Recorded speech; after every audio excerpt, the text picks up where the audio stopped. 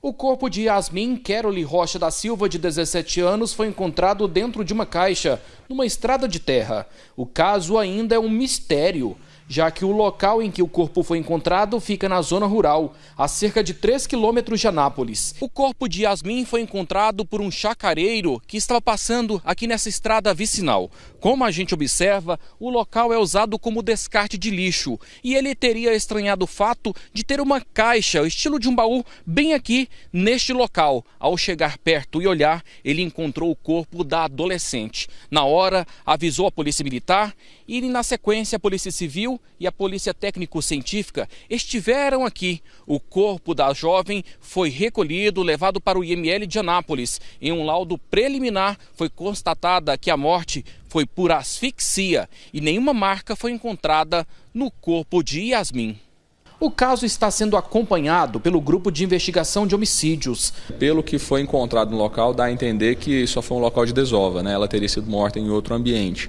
Não há nenhum sinal ali de desalinho, de luta ou coisas do gênero, né? A caixa foi deixada lá sem muita movimentação no local e houve essa tentativa de incineração do corpo, né, que ela né, foi falha. A gente percebe que teve um início de combustão, mas que nem prejudicou a identificação do corpo. Então, eu acredito que foi uma ação rápida, né, deixaram o corpo, tentaram até a fogo e deixaram o local, não percebendo que o fogo teria apagado. Yasmin deixa um filho de um ano e meio. A polícia disse que vai rastrear os passos da adolescente para localizar testemunhas. A gente agora né, busca esses últimos passos que foram dados pela vítima. Há uma informação de que ela teria frequentado uma festa aqui na cidade no sábado à noite.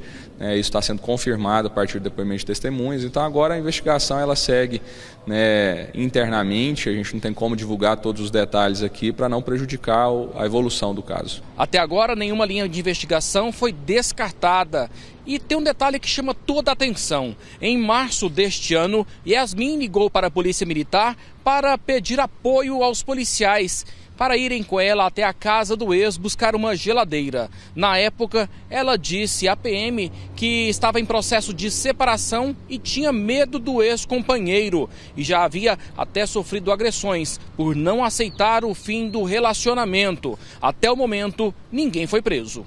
Nesse momento a gente não pode descartar nenhuma linha de investigação, todas as informações referentes a essa pessoa são né, reunidas e discutidas dentro da equipe de investigação e a gente vai exaurindo uma a uma né, para buscar aí qual seria a, a, que determinou a causa do óbito. Então, agora realmente é um trabalho de né, paciência, né, a gente pede aí que a, que a família tenha essa paciência, confiança no trabalho da polícia, que a gente espera que né, o quanto antes a gente já possa estar anunciando aí o desfecho desse caso com prisão dos autores.